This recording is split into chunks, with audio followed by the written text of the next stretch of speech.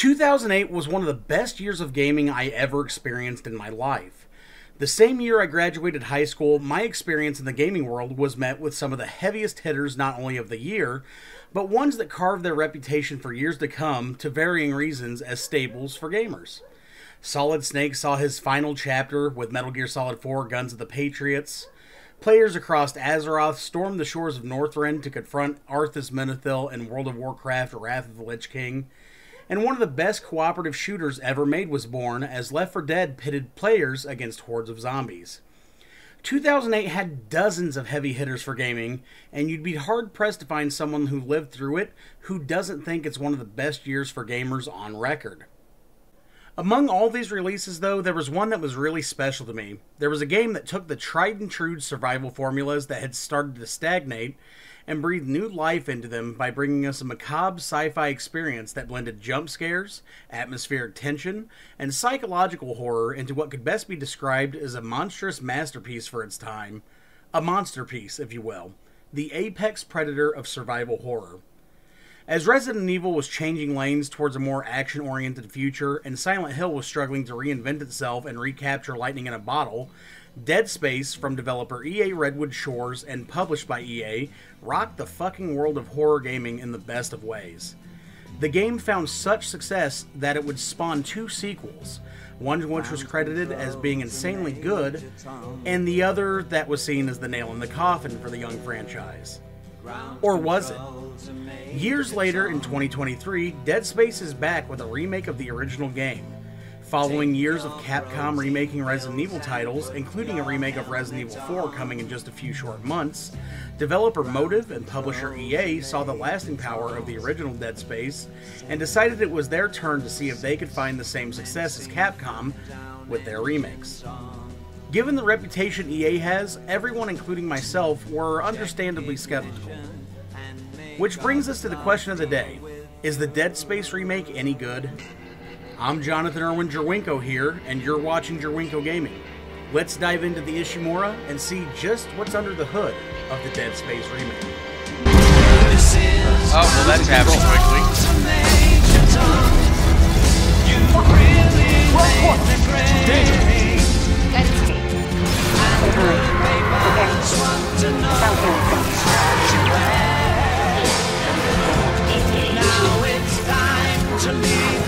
Oh my god!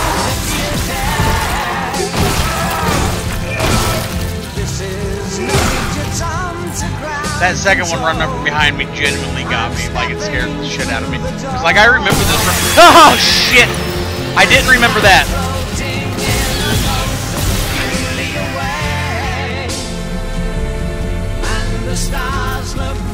Zero gravity parts feel way better than they did back in the day. Dead Space Remake begins with our protagonist, engineer Isaac Clarke, and the rest of a small team on board the ship the Kellion, approaching the massive planet cracking mining vessel, the USG Ishimura, to determine why they dropped out of contact and restore communication between the vessel and their parent company, the Concordance Extraction Corporation.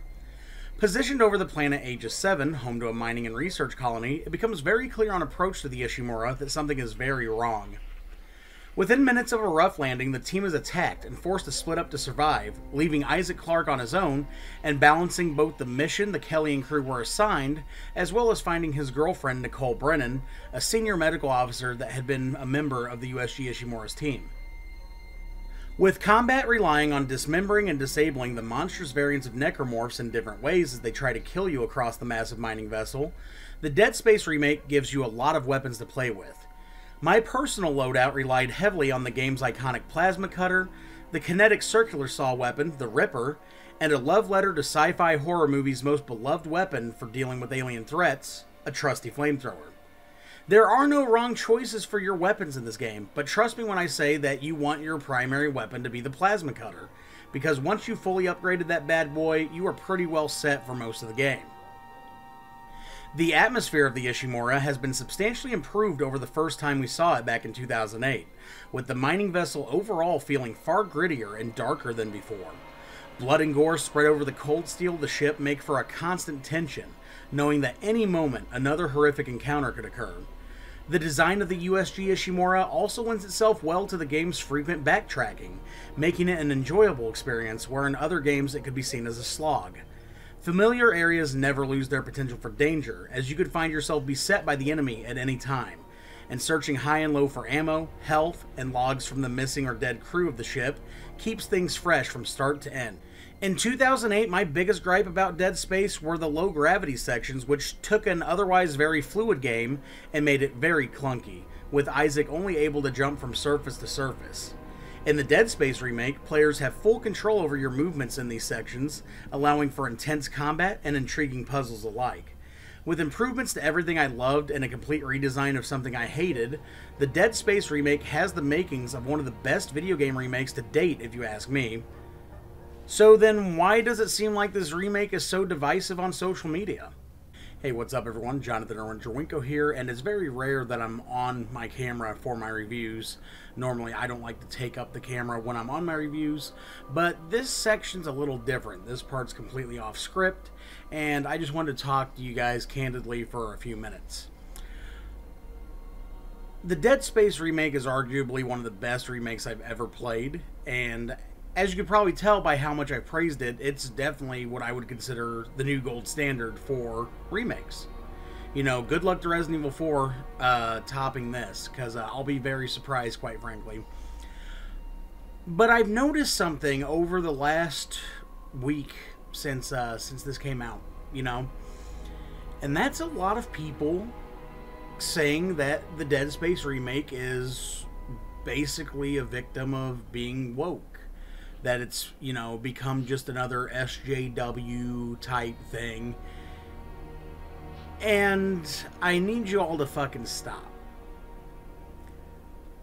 The horseshoe theory is clearly very real because it went from years ago where you know everybody is justifiably complaining about all this sort of censorship and stuff in video games and things like that, you know, um, very poor representations of diversity, things like that. Things have improved drastically since then. But I've noticed the critiques have not. Any minor change, any sort of representation or any sort of, you know, no matter how small it is, you know, I've noticed that the horseshoe theory has swung back completely the other way and now the people that were complaining for very justifiable reasons are now the ones nitpicking every little single thing. You know? They changed some of the artwork in game. You know, they made the they made the pictures more diverse, you know. Apparently that's woke, you know, apparently it's woke to have a multi-ethnic crew on board the Ishimura. Apparently it's woke that they have the fucking shared bathrooms that they had in the original, by the way. They just didn't have the signs. You know, the signs weren't the signs were different. Not exactly the same, but it was still heavily implied that they were unisex bathrooms. There's some graffiti on the wall. There's one spot where somebody wrote in graffiti that it's a capitalist hellhole on that ship or whatever. You know? And I need people to understand that that's, you know, this is this is coming this is a game coming from a capitalist company they are not anti-capitalist. You know, so it's okay. They're not trying to turn you into socialist. That was some world building from the perspective of somebody that's trying to blame it all on capitalism in there. You know, the game has always had some very clear themes of what happens when with a lack of regulation and a lack of respect for the law, plus an overabundance of uh, literally cult fucking behavior. You know, that was all there in 2008. You know. So I'm just I, I, I need y'all to stop. Not everything's a fucking culture war battle. You know, when they make changes like that, it's not always trying to piss people off. It's not always trying to gain woke points. Sometimes changes are just changes, and that's literally all there is to it. And if you guys aren't going to buy the game based on some shit you saw on Twitter, you know, because you saw a screenshot like that, or a really popular topic is that they put in, you know, trigger warnings. You know, they have the ability to toggle trigger warnings in the game. They even have the ability to censor some of the more gory stuff that happens in the game. Do I think it's silly to play Dead Space and turn those on? Absolutely. You know what you're getting into with Dead Space. You know what you're getting into with any horror game. But here's the fact of the matter everybody's different. Some people do have different, you know, things that bother them. And their ability to turn that on does not affect me, and it does not affect you. It doesn't mean that we're oh we're getting weak as a society. There's some people that just have trouble handling some of that shit, you know. And you know, I, I don't think it makes them weak either. But it cer- certainly doesn't make you or me weak. You know, everybody's different. They they have abilities in other games like the fucking turn the spiders off and Grounded. Well, you make them look weird. They're still there. Do I think it's a little silly? Yeah. You know, I'm terrified of spiders in real life. I think getting scared of them in the game is part of the fun, you know? But different strokes for different folks is all I'm saying. Anyway, I'm not here to preach to you. I'm not here to tell you what to do. I'm just saying that if you're skipping out on the Dead Space remake because of some stuff that you've seen on social media, or you're insistent that it's some sort of proponent of the culture war when it really is just a really good remake, you're only cheating yourselves. So I encourage you to try to, you know, just get past it and enjoy a really good game. Anyway, yeah, okay, back to the script. The 2023 gaming year is off to a hell of a start, and it's carried almost exclusively on the back of Dead Space Remake at the time of recording this. I love the game. It is fantastic. It's everything I loved about Dead Space, and it's updated for a modern era. Please don't be dissuaded by people on social media that are trying to say it's woke or it's sold out or whatever. It's still what you loved, and it's better than what you loved. I guarantee it. Thank you for tuning in to JIRWINKO Gaming. I've been your host, Jonathan Irwin JIRWINKO here, and this has been my thoughts on the Dead Space remake from developer Motive and publisher EA.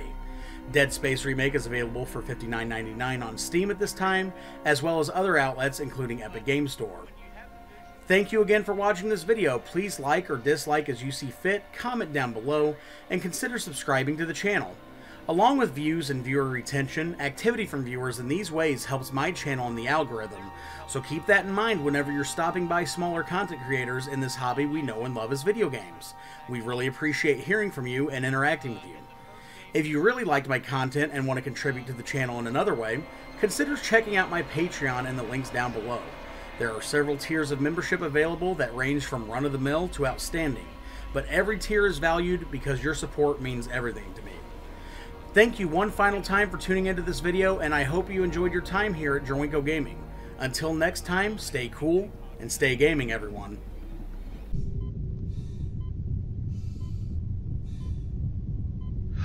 No! I almost made it.